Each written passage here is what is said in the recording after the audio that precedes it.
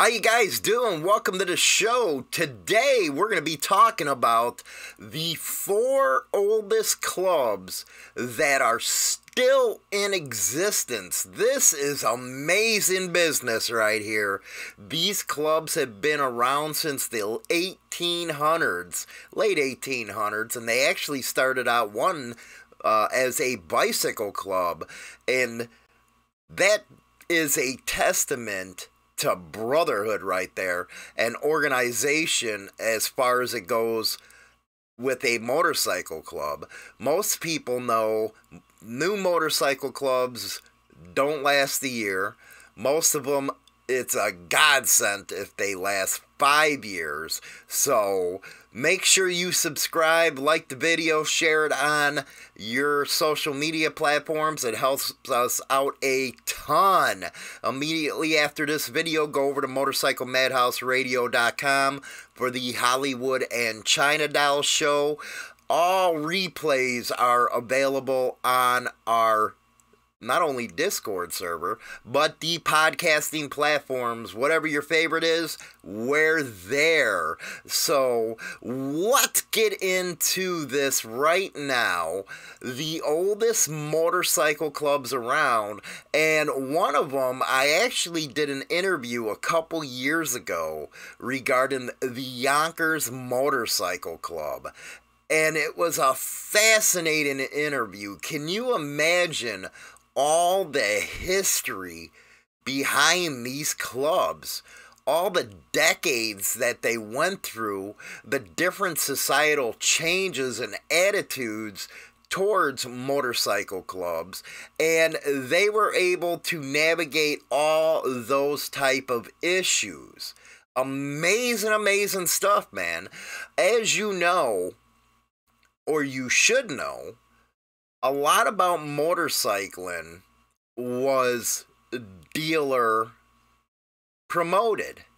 You had say you know what the modern day hog is actually an offshoot of what Harley Davidson used to do in the beginning with getting people together, getting them riding. That was to sell their product, which is a damn good idea, man. You got to hand it to the manufacturers uh, with starting programs like that. Indian had it.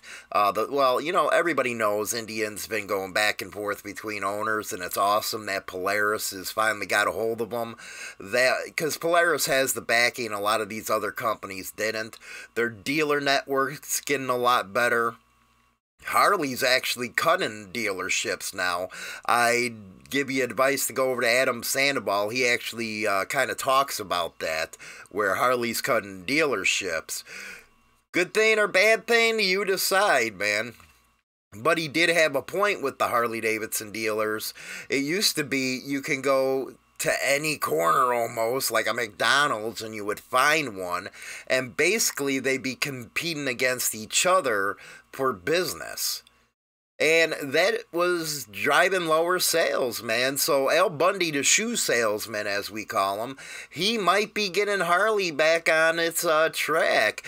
The only thing I don't like about them is they really forgot about the customer. But we're not here to talk about that. We're going to be talking about uh, the genesis of uh, motorcycling and all that stuff later in the week. We got uh, hill climbs coming up uh, talking about them, flat track racing. This week is basically dedicated to the motorcycle itself. Something we always forget about when we talk about MCs and MC history is we got to concentrate on the motorcycle.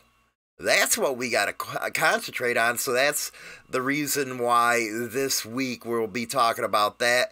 And yes, I am going to talk about the seven baddest uh, female motorcycle clubs uh, later this week, about Friday, I believe it is. Uh, I have to mention that.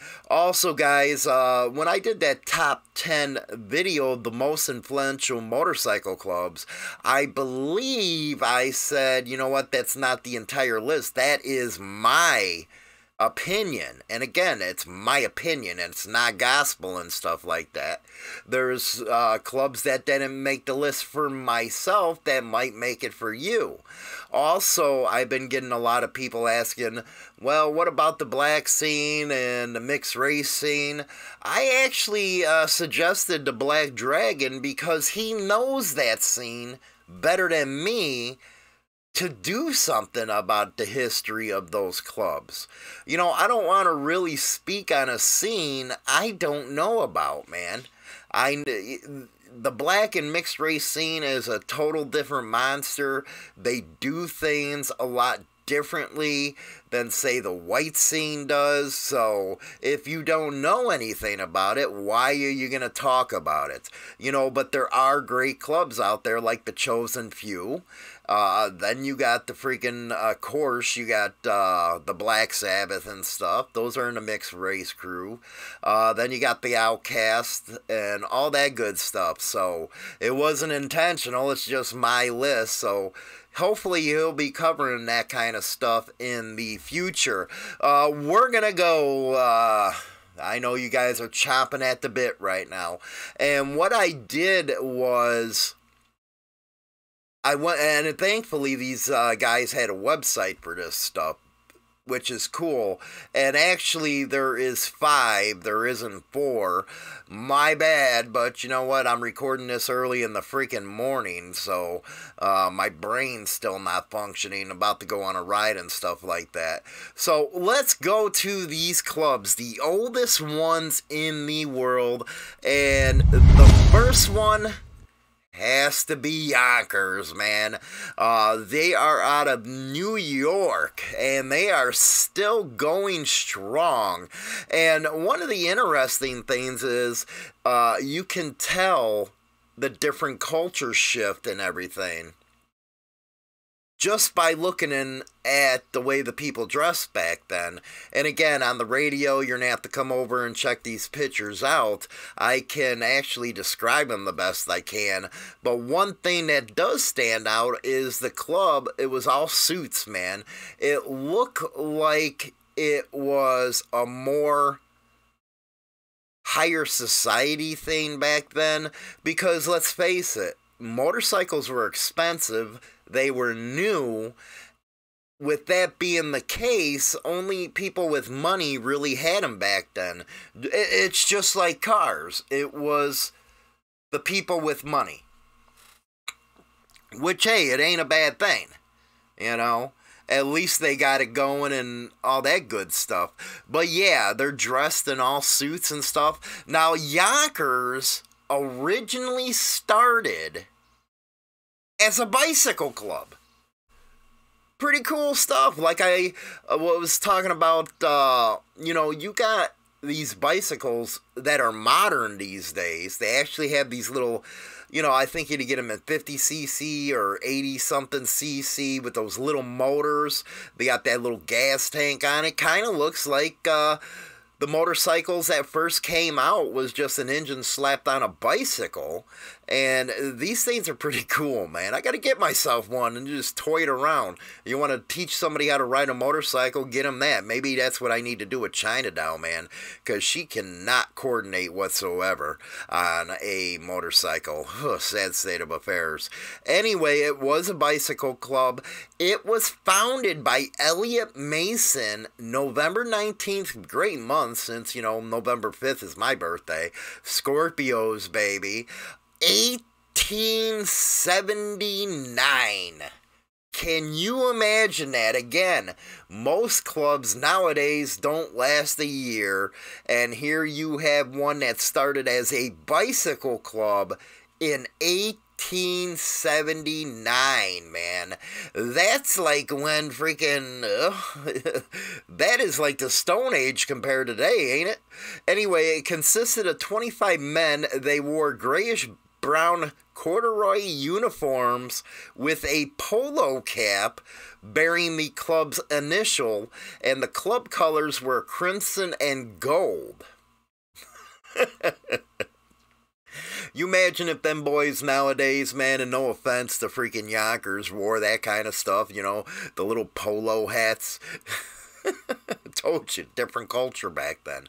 Anyway, uh, let's see here. Uh, Elliot Mason was a Columbia bicycle agent in Yonkers who went to work as a general manager for the Pope Manufacturing Company at 12 Warren Street, establishing the oldest cycle depot in New York City.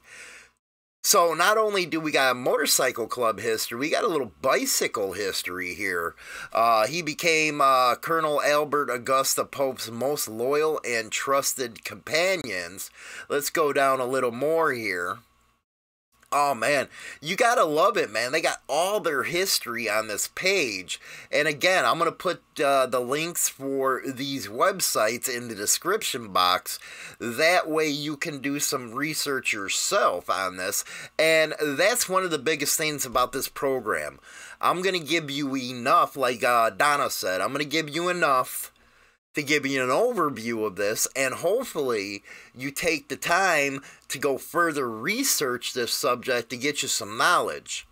Uh, anyway, there is a photo of Aileen and Ashley Mason. It looks like it's Elaine. Uh, look at that freaking those old school mustaches and stuff with the little beards.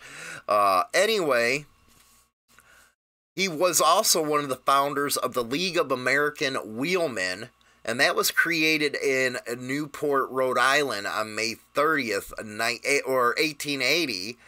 Uh, 150 bike, uh, bicyclists from 32 different clubs came to Newport. So, bicycle clubs were a huge thing. It says right here uh, the American Wheelmen, or the League of the American Wheelmen, they had over 800 bicycle clubs back then. So, the sense of freedom and adventure goes all the way back to this time. So naturally, it goes over into a motorcycle club. You gotta love it. Uh, let's see here. They also had a legacy of hill climbing contests, lantern runs, historic relay races, endurance races, all that kind of stuff as a bicycle club. Now, hill climbs have a unique type of uh, deal, and yes, it started with bicycles going up there, and it just transformed into motorcycles, which I'll be talking about later on this week. How it's finally making a comeback. If you haven't ever gone to a hill climb, you're missing out, man. Uh, anyway, uh, during the early part of the 1900s, motor bicycles, like I was talking about, were being manufactured, uh, and several members of the Yonkers Bicycle Club looked to form the Yonkers Motorcycle Club. And here is uh, pictures, and this is from the Smithsonian, which is very interesting business. Uh, the meet at Newport it sh- and it shows the founders on the rocks at Newport, and it goes, uh, "We cannot furnish a perfect key to that picture. We will try to do some more." Uh, then point out some of the more prominent wheelmen. Uh, then it goes on to who they are and stuff like that. Uh, if you're keeping your club's history, which hopefully all motorcycle clubs are, uh, when you have pictures and stuff, maybe you want to label who they are. That way, for future members, they'll know a little history. And then it goes on to talk about George Ellis. We just said that. Uh, then the club's first endurance run.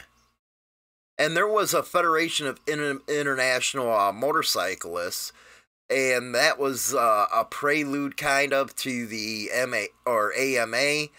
Uh, they took a trip from Yonkers to Coney Island in return.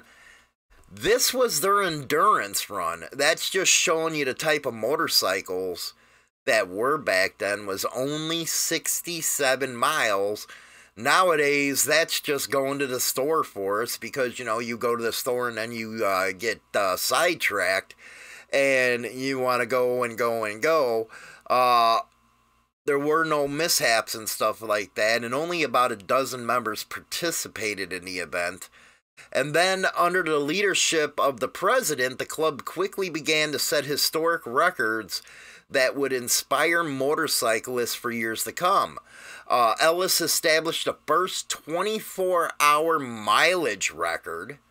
Yeah, these are all going back then, man, kind of like the Iron Butt Association. Uh, and that time record was from Boston to Chicago. And you got to remember, back in the early 1900s, them roads sucked, man. It's not like you you know today. Uh, yeah, they were pretty shitty, so they must have had an iron ass back then. Uh, January 1st of 1917, the New York State uh, FAM Commissioner George Ellis promoted the first midnight run under the auspices of the Corontana, what is that, Corontano? I don't know, it's some uh, weird shit. Motorcycle Club. Uh, the first mo- midnight run consisted of 30 motorcyclists competing in a 150 mile endurance run that started from Columbus Circle and to Poughkeepsie and return. Um, then in 1920, he established a two flag record from the U.S. to the Canada. Uh, you can see it starting to expand the riding area and how the culture was taking shape back then with the different rides, the different events, and you just see as it goes on, more and more people started to get into the scene. And he also took a role, uh, Ellis, as a motorcycle courier from Governor Cox of Massachusetts to Calvin Coolidge, uh, following Coolidge's election to vice presidency. Now, the Yonkers was among the first motorcycle clubs to affiliate with the AMA, with the association was formed in 24, that's 1924. Uh, numbers were put in a hat, passed around, and drawn at the first official meeting of AMA. Yonkers drew card six, hence charter uh, number six. Uh, brothers at Reading Motorcycle Club drew card four. And again, we're going to get a lot of these other motorcycle clubs that ain't mentioned in this video in something later on. And hence their ch- low charter number of four. So it's very interesting, even with the AMA history, how everything went, how everybody flocked to the AMA. Let's talk, you know what, back in them days, there was no television, there was no friggin' internet. So this is the type of entertainment they had, and that entertainment turned into a whole culture, a whole lifestyle. Awesome stuff, man. Uh, they the Yonkers even uh, started a freaking polo club. Uh, that was the Yonkers Turkey Run. They also created in 28, and uh, the success continued to dominate the sport for three next uh, decades, man, we can do a whole video on Yonkers, man. They really have their history down pat. They archived a lot of this stuff, and if you big visit uh, the one video I did uh, where I interviewed uh, Yonkers, uh, it's just amazing the stuff he would talk about. Again, I encourage you guys to go over to YonkersMotorcycleClub.net and just look at all the history here, man. It's just unbelievable. And still to this day, I believe they are still members of the AMA. Now, Pasadena Motorcycle Club. That's probably one that you never heard of. Uh, they were established in 1907. 1907. Uh, they're sitting in front of the Pasadena Club uh, motorcycle house, and there's them old bikes, baby. Uh, them little motors, man. What do they go 30, 40 miles an hour back then? So, can you imagine doing a 24 hour ride on the shittiest roads in America back then? My God, man, they you know what? Them were freaking bikers right there. Uh, it was formed on May twentieth, nineteen oh seven, in Pasadena, California. Uh, it is the third oldest motorcycle club in the United States and the oldest in Southern California. Remember, there was actually earlier motorcycle clubs in Europe, and you'll learn about that at a later time. Uh, the older clubs are Yonkers. They were established in 1903.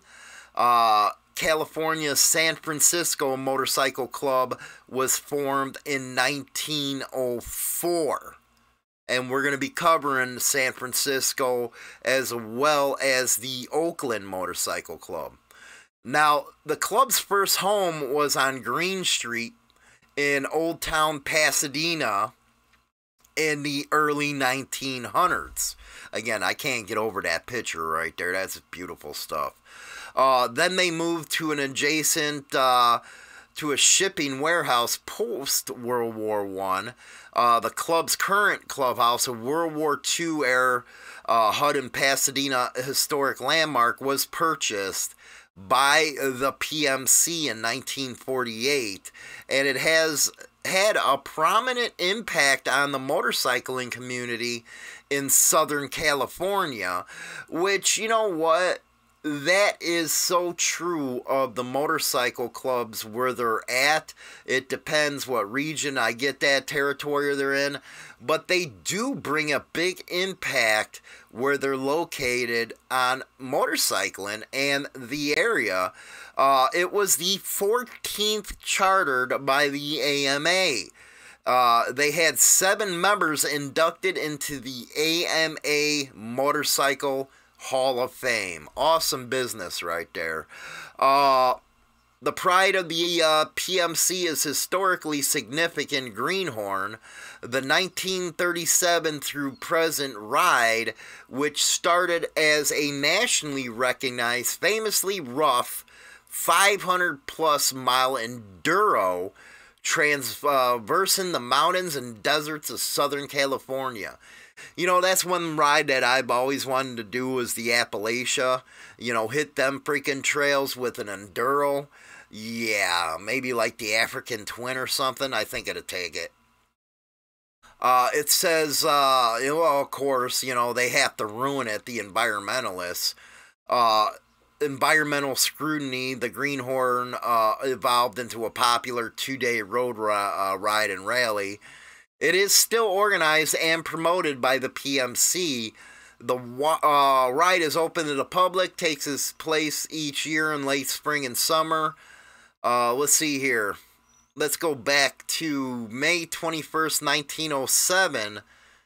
Pasadena has a large number of motorcyclists, and the last evening they formed an organization which will be known as the Pasadena Motorcycle Club.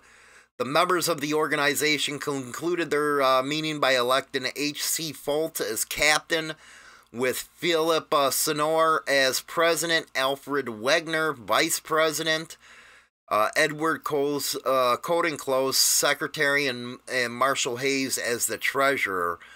So going all the way back then, they still have their history of who was uh, first elected and the club is the third of its kind organized in the state, the only other two being in Los Angeles and San Francisco.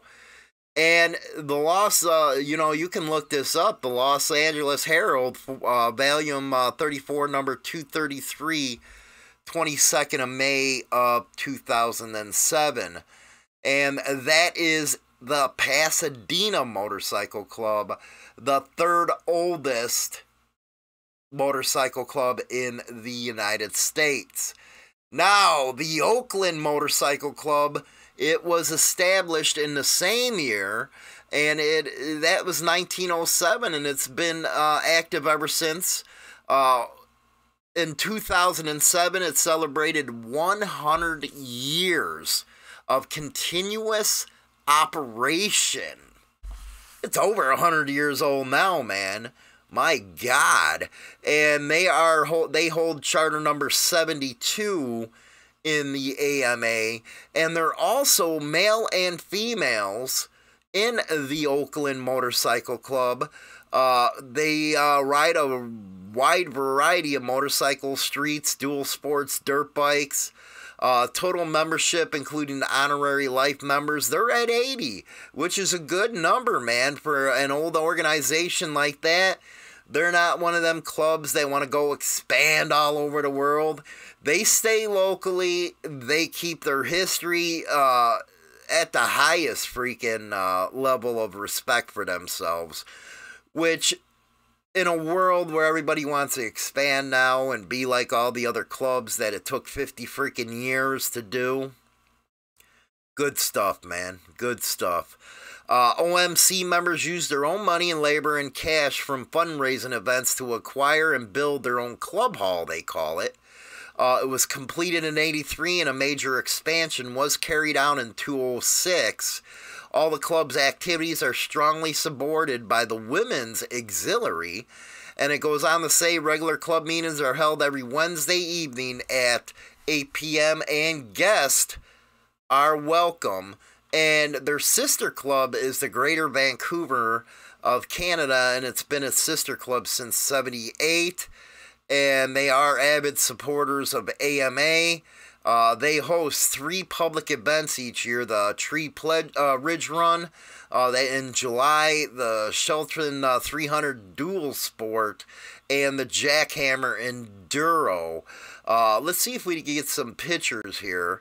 There you go. There's some pictures of them heading to Mexico. Uh, same group. And then note the OMC members that you have videos on. Okay, let's see what they got here there's some of the rides that we're looking at on YouTube. Beautiful scenery right there, man. Jesus Christ. Uh, then they go to Carson City, stuff like that. So that is the Oakland Motorcycle Club in 1907. Now, 1904, the San Francisco Motorcycle Club. In November of uh, 1904, the SFMC holds its first uh, official meeting at the Thor Motorcycle Shop. So even all the way back then, man, members loved going to motorcycle shops and hanging out. Uh, there was 12 charter members. Uh, they included CC Daddy Hopkins, Thomas Torme, George uh, Payton, Joe Holly, and Henry Rockwell. 1906, uh, April 17, the club holds its first dance in a new hall. Uh, five hours afterwards, uh, the great earthquake shakes the city. Holy cow.